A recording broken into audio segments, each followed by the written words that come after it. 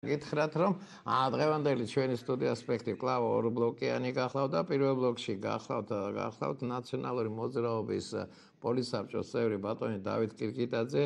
ალბათ გეხსოვებათ რუსთავი გარდაბნის ზონაში იყო და მაჟორიტარობის კანდიდატი და მეორე ბლოკში გვეყოლება ბატონი ლევან სამუშია და არ შემიძლია არ გაგახსენოთ რა ის იყო უცნაურობა იმაში რა ქვია რუსთავში და გეხსომებათ ალბათ საკრებულოს წევრი ქალბატონი ლაცაბიძე იყო იქ ისა რა ქვია დეპუტატი ის კანდიდატი და აი რაც ხდებოდა ნუ ხო ყველა ვნახე და ტოტალური ბიულეტენების აა ესე თქვა გაწევ გამოწევა იყო და ბატონი დავითს უთფობთ აგერ ეთერს და დავით ბატონო ეგება თქვენ აგვიხსნათ რაც ყველგან მოხდა? მე მგონი ის ხდება თქვენთანაც და რა სპეციფიკა ქონდა რა ის იყო? აი არ ვიცი რა რესურსებით მუშაობდნენ და როგორც ჩანს აი ეს ნუ ის ვიღაცა რო ამბობდა რომ ბიზნეს უყარსო ეზო იმისიო ვახტიორებისა და ლიფტიორების დაწინაურებაო და ესეთი რა ლიფტიორები და ვახტიორები იყვნენ კომისიაში რომ აი ესე გადაწერ განმოწერეს ყველაფერი. მე გავიგე რომ რას თქვენთან მოხდა სამჯერ უარესი მოხდა ქვემო ქართლში ამ იმასთან რა ქვია კახა ოქრიაშვილთან საერთოდ რაკონული მიდგომებია რაიონებში და რა ხდებოდა? ეგ აი ილუსტრაცია გაგვიკეთო და ხალხმა იცოდეს რასთან მქონდა საქმე და მადლობა რომ გვესტუმრეთ დავით ბატონა დიდი მადლობა მოწვევისათვის ბატონო. დავით ეთრეშური სურს თქვენი სიმშვიდის და მინდა რომ ეს სიმშვიდე გადაედოს ყველას თუმცა ნამდვილად არა გვაქვს დასამშვიდებლად საქმე როგორც ჩვენ ისე მთელ საზოგადოებას იმიტომ რომ უკანასკნელ უფლებასაც გვართმევს ბიზნესმენში ჩვენი ხმის უფლებასაც გვართმევს მან წაგვართვა უფლება ჩვენი ქვეყნის ქვეყანის შიგნით ჩვენი შესაძლებლობის რეალიზების და იცით რომ უამრავმა ადამიანმა დატოვა ჩვენი ქვეყანა და ამას გვიპირებს დანარჩენ ყველას და ეხლა ეს ხმის უფლებასაც გვართმევს. ეხლა რა ხდებოდა? რუსთავში ისე როგორც თელ საქართველოში სქემა ერთად იგივე იყო სქემა სქემა და დავალება იყო ერთ და იგივე აბსოლუტურად ყოველთვის მიცემული. და თურმე ამის გაკეთება შესაძლებელი ყოფილა თუ გაიწყვეთ შუბლის ძავს და თუ აიღებ ხელს ყველაფერზე და ეს მოხდა ეს გააკეთა ეს ქართული ოცნების კომისიის წევრებმა დავალება შეასრულეს თამარჟვანიას რაც უბძანა ის დაიყვანა დაბლა ყველა დონეზე საუბნო დონეზე და ეს გააკეთეს აბსოლუტურად ყველგან.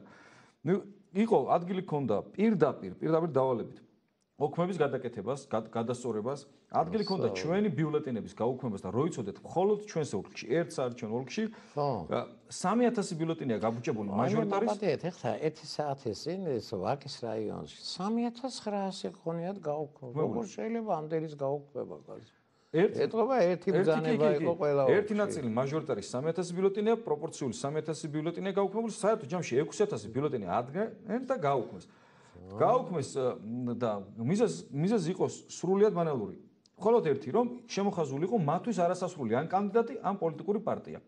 უგონებდნენ მე 1000 საშუალებას და პირდაპირ გვერდზე დებდნენ. ესეც რომ არ ეყოთ ბატონ დავით, ესეც რომ არ იყოს. მე დაიწყეს დრაკონულად ოქმების შესწორება და ნახეთ თქვენ რომ უბნების ერთ მესამეში 1300 საარჩევნო უბანში თელ საქართველოში ბალანსი არ ჯდება. რატო? იმიტომ რომ ხან ისე გადაასწორეს, ხან ესე გადმოასწორეს, ვეღარ დააბალანსეს და ეს ეს იწევს უბანზე დაუბალანსებელი ოქმი რო იცოდეთ, იწევს საფუძველი არის საარჩევნო უბნის ჩაშლის. კი, გაჩერება. ჩვენ გვაქვს ეხლა 800-მდე საჩივარი შეტანილი, სადაც 1200 საუბნო კომისიის შემაჯამებელი ოქმის გაუქმებას ვითხოვთ. ეხლა რატო ბიზნეევანიშვილი? ბიზნეევანიშვილი რატო არის არხეინად ეხლა კიდევ რამოდენიმე დღე? რატო იქნება? იმიტომ რომ იცის რომ ჩვენ რომ ამ საჩივრებს შევიტან, შევიტან საოლქო კომისიაში, იქაც თავის ხალხი ყავს გინდა შეაყარე კიდევ ცეცვი აზრი არ აქვს ისინი არაფერს არ განიხილავენ და შემდგომი ეტაპია უკვე სასამართლოში დასხვა და ვინ ხავს სასამართლოში იგივე ნურუსიძე სასამართლოს დაგახვედრებს ამან თავიდანვე შეკრა ის წრე რომელიც წრეც საბოლოოდ ამ ქვეყნის ხელის ჩაგდებაში უნდა დაეხმაროს მათ მაგრამ აქ არის ბიზნე ივანიშვილი ერთი მხარე და მე არის მთელი დანარჩენი საქართველოს აქეთ. რომლებიც ვართ? აბსოლუტურად გაბრაზებული ეხლა რო იყოს მხოლოდ ნაციონალური მოძრაობის პროტესტი ეს. შეიძლება ვიღაცას განს და გაუჩნდეს რომ რა გინდა შარზე ხართ ან ვერ მიიღეთ იმდენით რამდენიც გინდოდათ ან ვერ მიიღეთ ის რასაც ელოდით. და ასე შემდეგ მაგრამ დღეს აბსოლუტურად არ მომხდარა ჩვენი ქვეყნის ისტორიაში ესეთი რამე მოხდა გუში ნახეთ რომ ყველამ აბსოლუტურად ყველამ არა მხოლოდ იმათ ვინც ბარიერი გადარახეს არამედ ვინც მონაწილეობდა. ქართულმა ბავშვმა ები თქვა ეს სანდრო ყველა არის შეთანხმებული ერთ რამეში. მთელი ქართული საზოგადოება პოლიტიკური სპექტრი, ჩვეულებრივი ადამიანები, ჟურნალისტები, ექსპერტები, დამკვირვებლები არიან, ამბობენ რომ ეს არის ეს არის ყო არჩევნები და გაყავდა. აკეთ არის ბიძინაივანიშვილი, არ თამარჯვანია და კობახიც. აი ეს სამი ადამიანი გამოდის და დაჟინებით გვიმტკიცებს რომ ყველაფერი იყო კარგად და ჩვენ ჩვენ ამას უნდა შევეგუოთ და მივიღოთ ეს მოცემულობა და ასე შემდეგ და 1000 სისულელს გვეუბნებიან. მაგრამ თქვენ ხო კარგად იცით, ჩვენი ქვეყნის უახლეს ისტორიაში მემატიანი ხართ, ხო? კარგად გახსოვთ რა დროს როგორ იქცევა ხელისუფლება. თქვენ ისიც კარგად გახსოვთ ჩვენ საუბრობთ ეთერში შემოსვლამდე, როგორ ყოჭაღად და მედრად იდგა შეორდანზე, ხო გახსოვთ? რევოლუციის ორი დღით ადრე სენაკში იყო გახსნა ისა, რა ქვია, რაღაც ფერმა გახსნა და გვარწმუნებდა რომ ყველაფერი კარგად, მაგრამ როდესაც ქართველი ხალხი, გაბრაზებული ქართველი ხალხი გამოდის რუსთაველზე, ყველა ხელისუფლება იხევს უკან, ყველა ხელისუფლება იხევს უკან და უნათდება გონება და იღებს რაციონალურ და სწორ გადაწყვეტილებებს. ამიტომ ჩვენ ხელშია ახლა ჩვენ ან ვეგუებით იმას რაც არის და ამათ გააქვთ თავისი ბიძინა ივანიშვილის ჟვანიას და ამ დინარაძე თალაკვაძე კობახიძეს ამ ხალხს ან მთელი ქართველი ხალხი ვოთ გავართ აქეთ კაცო. ის ხო არ არის ჩალეთ ხო არ არის ბოლო-ბოლო ქვეყანა დახულული ამის ვიდეო მტკიცებულებებიც გვაქვს უამრავი ფოტო მტკიცებულებაც გვაქვს უამრავი. ოქმებია ამის დამადასტურები რომელიც ერთი ოქმები ჩვენ გვიჭირავს სამოღებული საყრმაში რა ქვია ჩვენს ოფისებში და მეორე ოქმები ატურთულია ცენტრალური საარჩევნო კომისიის იმას გვერდზე და ამით ითვლიან და რო ეუნები თუ ჩვენო დამკვირვებლებმა წამოიღო ოქმი, სადაც ქართულ ოცნებას 100 უწერია, შენთან იქ რა ქვია, რატო უწერია საბოლოო შემაჯამებელში 200? გეუბნები რა ჩავასწორეთ მეორე დღეს. დაადგნენ კომისიის თავმჯდომარებმა დივნებმა ჩაასწორეს მეორე დღეს და ხელმოწერებიც კი გააყალბეს. ამ ხელა დანაშაულზე მიდან ეს ადამიანები არ ვიცით რა თუ ღირთ. აი რა რა თუ ღირთ? ეს არის სისხლის სამართლის შორეულ დანაშაულს. და იცით რა მოხდა ეს ჩვენ ჩემ თავს ვიძახი და ჩვენზე ვიძახი ნაციონალურ მოძრაობას. თავის დროზე რომ არ დაისაჯნენ შემსრულებელი გამყალბებლები. ალბათ. იმის გამო მიც ამ ადამიანებს, ამ მიცეს ამ ადამიანებმა თავისუფლება რომ ეს გააკეთონ და ჩვეულებრივი კურდობა, იმაზე მეტად დიდი კურდობა, ვიდრე შეიძლება დღეს საჯელს იხდიან წრუნო კურდობაზე საქართველოს სიხეებში. აი ესეთი რამე ხდებოდა ტოტალურად. აი ვიკითხეთ. რა ხდებოდა ბოლში, რა ხდებოდა რაიონებში და სოფლებში. უნდა იცოდეთ, აი პირდაპირ აიღეს ჩვენი ხმები სხვა ოპოზიციური პარტიების ხმები აიღეს გადმოდეს და მიათვალეს ქართულ ოცნებას. აი რა როიცოდეთ. ასე თუ ისე მოხერხდა, ასე თუ ისე მოხერხდა დიდ ქალაქებში, იმიტომ რომ იქ ბევრია საშუალება გადაღების, დამკვირვებლების. აი მაგალითად რუსთავში მოვიდა 60000-მდე ადამიანი. ხოლო 22000 ხმა მიიღეს მაგათ. დანარჩენი 38000 ხმა არის ოპოზიციის. ეხლა გამოვლენ მე რუცხვად შევა პარლამენტში ეს ჩემი კონკურენტი დაждდება და თავის თავის თავს უწოდებს რუსთავის მაჟორიტარს. რანაირად როცა 38000-მა კაცმა მიუხედავთ ამ ზეწოლისა, მიუხედავთ ამ მუქარისა, მიუხედავთ იმისა, რომ ყველა უბანსთან ეყენათ გარეთ ერთის მხრივ თავიანთი კოორდინატორები, რომლებიც იწერდნენ და საზღვრებს აკეთებდნენ, მეორე მხრივ ეს ვითომ ქუჩის ბიჭები ვითომ აი ეს ხალხი რომ ყველა ყოველად ამაზრზენი ადამიანები და ესე ცდილობდნენ არჩევნების შეგოწესებას, ძალით მოყოლი ხალხი და მიუხედავთ ამისა მოვიდა და უარი უთხრა და მე შევლენ ახლა ამ პარლამენტში და იტყვიან რომ ჩვენ ვართ რუსთავის წარმომადგენლები. ეს შევლენ დათო, მართა ვერ შევლენ რა. ეგრე არ არის რა. ამაზე ეს მე გავაფრთხილე კიდევაც ეს ბრიყვები რომ ლუკაშენკოს შეხედეთ მე იქეთ ეხვეწება ოპოზიციას აპატიე ცოტაო. არ გამოუვათ ესე. არ არის მე ვფიქრობ რომ არა ვარ ჩვენ არც ბელორუსი ხალხი და არც რუსები და რაც აი ავტორიტარულ ქვეყნებში ხდებოდა იგივეს გვიმეორებს ეს კაცი და ვერ იმუშავებს აი მართა გეუნები დათო ვერ იმუშავებს. აი გულწრფელად მართლა მშურს ეხა თქვენი სიმშვიდის. აი მე ვერ ვერ წმარდები რა პროცესის ნახი იმ დღეს. ეს არისო ეს იყო ძალიან უკან გადადგმული ნაბიჯი. ვინი ფიქრებს? გარეკეს რა, გარეკეს თორე ეს სისულელი არ უნდა. ვინი ფიქრებდა რომ ჩვენ 2003 წლის 23 ნოემბრის მერე კიდევ ერთხელ მოგვიწევდა თელ ოპოზიციას იმის მოთხოვნა რომ ჩაატარე არჩევნები. რა თქმა უნდა იყო გადაცნობები კაცო. თიანი ანგელოზი არც არასოდეს ყოფილა არც ერთი ცენტრალური საარჩევნო კომისია არც ერთი მმართველობის პერიოდში, მაგრამ ეს რაც ხდებოდა, არ უკადრია შევარდაძის ხელისუფლებას. ასლან აბაშიძეს უფრო მაღალი სტანდარტი ჰქონდა არჩევნების ჩატარების ვიდრე დღეს დღეს თამარ ჟვანემ რაც გააკეთა. მაგრამ აი გულწრფელად ჩვენ ხო უყურებდით ახლა ყველანი ტელევიზორს და როგორ აღტაცებული ვიყავით იმ ჰეროიზმით, იმ სილაღით, იმ თავისუფლების მოყარებით, აი ბელარუსი ხალხს, რომელიც გამოდის ესე და აქტიურად ამოწესდება. მეობით, მესამე თვეა თუ მეოთხე თვეა. ყოველ კვირას რებს აგეთ ჩვენ ხო ხედავდით და როგორ ვამაყობდით როდესაც უკრაინელი ხალხი გამოვიდა და მათი არჩევანი დაიცვალა და ჩვენ ხო აღტაცებული ვიყავით თელი სოფლიო აღტაცებული როდესაც მოლდოვეთში მოახერხეს ამხელა კონსოლიდირება და ისეთივე ოლიგარქი როგორც ბიზნესმენები ყავს ჩაწიეს ხო გახსოვთ ჩვენ ღმადა ვარ დარწმუნებული უფრო მაგარი ხალხი ვართ უფრო მეტად თავისუფლების მოყარე ხალხი ვართ უფრო მეტად არ გავათელინებ ჩვენ ღირსებას არავის და აი სწორედ ამიტომ არის მნიშვნელოვანი კვირა დღე. ბიზნესმენებში არავის არ ესმის აღარავის აღარ ესმის. აი Facebook-ში ეხლა მესმის რომ 21 საუკუნე. და პროტესტი შეიძლება გადატანილიყო სხვადასხვა ფორმით, აი პეტიციით მიმართო თქვა, Facebook-ში გამოხატო შენი აღშფოთება და დადო იქ და აჩვენო საზოგადოებას. ეს რა თქმა უნდა ძალიან ყურადსაღებია, მაგრამ არ არაფერს არ აქცევს. ბიზნესმენში ყურადღებას. ის მხოლოდ ყურადღებას აქცევს ქუჩაში გამოსულ, გამრისხანებულ, გამძინვარებულ ხალხს. აი ეს უნდა დავანახოთ ეხლა ჩვენ თუ გვინდა რომ ვიყოთ პატარა საფაშო ივანიშვილის და ეს შემოღობავს ამ ქვეყანას გარწმუნებთ. შემოღობავს. ეს არის მისი მიზანი. ეს არ გააკეთა როცა დაჭირდა ზღვა მიიყვანა ეზომდე და ესე აპირებს რომ ჩვენ აი ხო გვითხრა კიდევ ზღიათ ადექით და წადით გერმანიაში წადით კაცო იქეძებეთ თქვენ სამსახური. ეს ქვეყანა უნდა თავისთვის და 5-6 ადამიანისთვის. აგერ არის კობახიძე აგერ არის ჟვანია რასაც ჩასძახებს ამ ადამიანებს. ესენიც იგივეს ამოძახებენ და ესე უნდა გაასწოროს და უამრავი ადამიანია ჩვენს ქვეყანაში. კომპეტენციით სანდოობით პროფესიონალიზმით გამორჩეული ერთხელ და სამუდამოდ ეს ადამიანები უნდა მოვიყვანოთ ცენტრალურ საარჩევნო კომისიაში დაუნიშნოთ მაღალ ხელფას და მათ უნდა ჩავატარებიოთ არჩევნები. წარსულმა ჩვენმა 30 წლიანმა თავისუფლებაში ცხოვრებამ ყოველას ყოველას აბსოლუტურად ყოველას რეპუტაციაზე ყოველას შესაძლებლობაზე ნათელი წარმოქმნა შეუქმნა საქართველოს მოსახლეობას. არიან საქართველოსში მაღალი სანდოობით გამორჩეული ადამიანები. და რატო არჩევს ბიზნესმენში აი კობახიძისნაირებს იმიტომ რომ მათ არც სანდობა აქვს არც პროფესიონალიზმი და სიტყვის შებრუნების ის არ აქვს და იმებს ალაპარაკებს. განა დავიჯერო რომ ჩვენ ახლა ისე დავბეჭავდით რომ თამარ ჟვანიაზე უფრო კომპეტენტური, უფრო გამოცდილი და უფრო მაღალ სანდობის ადამიანი არ ყავს ცენტრალური საარჩევნო კომისიის თავმჯდომარე იყოს.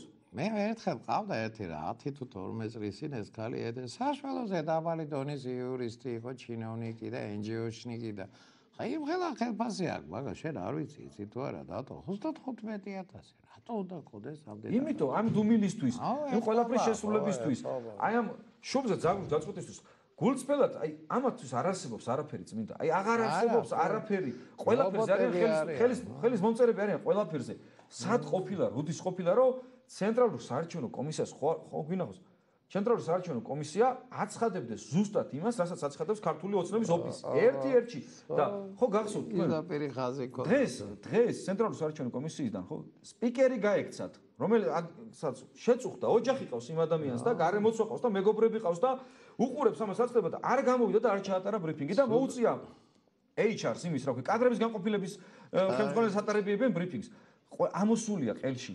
ამოსულია ყელში უკვე რა ეს ამბავი დამთავრდება ცოტა დრო რჩება 6 წუთი რჩება მე მართა გეუნები აი მე ვფიქრობ ერთხელ თქვი და ძალიან ბევრმა დაარეკა მოიკვეთოს უნდა ეს ქალი საქართველოსთან მოქალაქეობა უნდა წავართვათ ამ დედაკაც ეს არის აი უსარმაზარი ცოდვა. ბერაც რობიერებენ ეს ინდაურები რომ ეს არის უზარმაზარი ცოდვა და რა არის ერთ ფსიქოლოგს უსმენდი?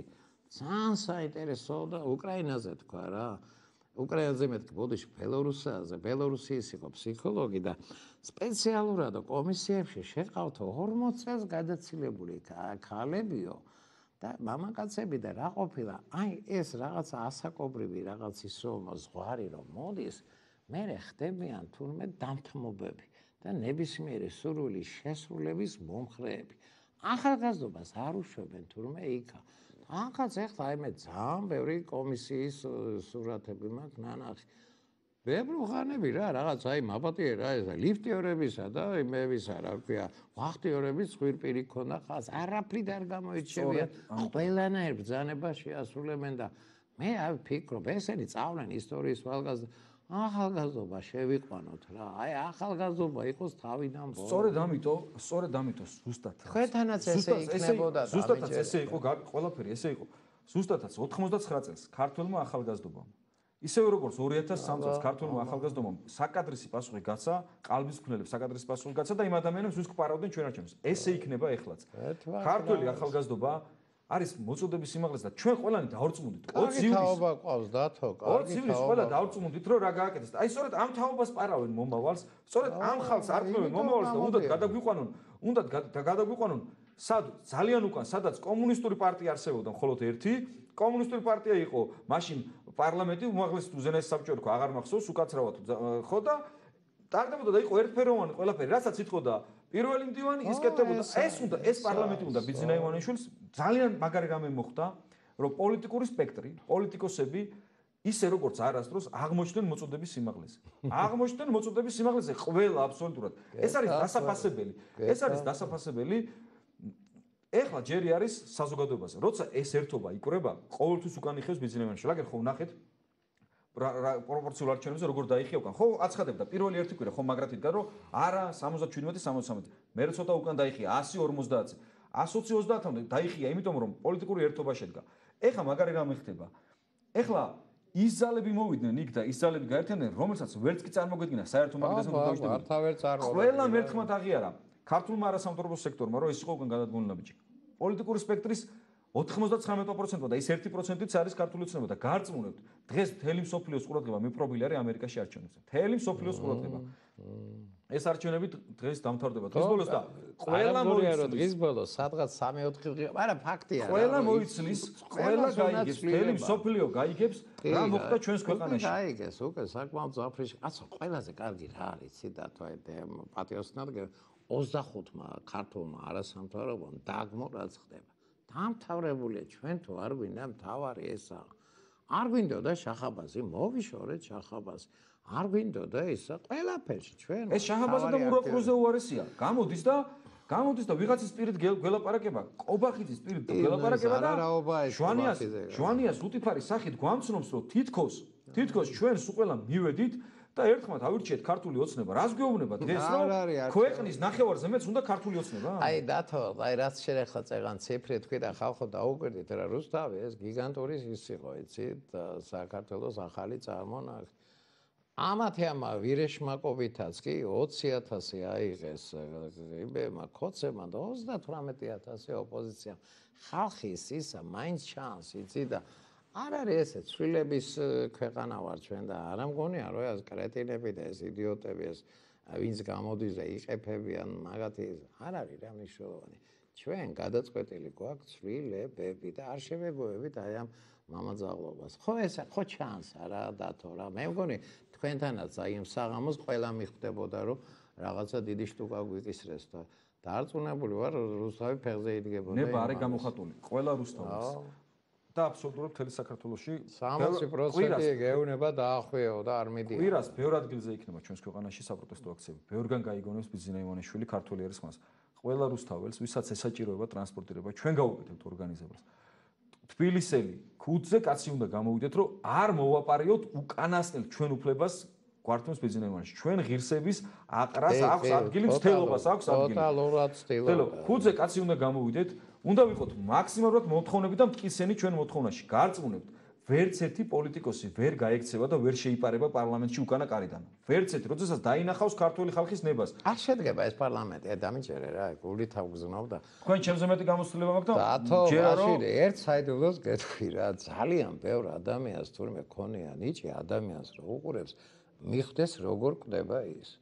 არავის არ უწერია ამათ აი როგორ გითხრა ქრისტიანული სიკვდილი რა. ესენი ყველანი წამებით მოკვდებიან რატომ იყავთ? აქამდე თავიანთი გვამისის არ ვიცი აი აი აი კობახიძეს როგორ ემჩნევა რა ეს კაცი და კარგად ვერ დაამთავრებს ცხოვრება. იგივეა ყველა არა არა მე ვისურვებდი რომ პოლიტიკური ცხოვრება დაამთავრო როგორც უნდა თავის ცხოვრება როგორც უნდა ისე დაამთავრო ესეულით ვინ ცხოვრობს კაი სადაც სუდა დაამთავრებს რა. მართაც სუდა დაამთავრებენ ეგ საწყლები. მართა מחარებს რომ ჩემი სტომარი ხარ ხახო დამიჯერეთ აი კრისტ დაკრისტალებულია საერთოდ ყველაზე ისეთი შეიძლება არ უნდა ვთქვა მანა და პროლეტარული ქალაქი იყო ყოველთვის რუსთავი და რაღაც სიმართლისთვის მებრძოლი ხალხით იყო დასახლებული. 60%-მა უარი უთხრა.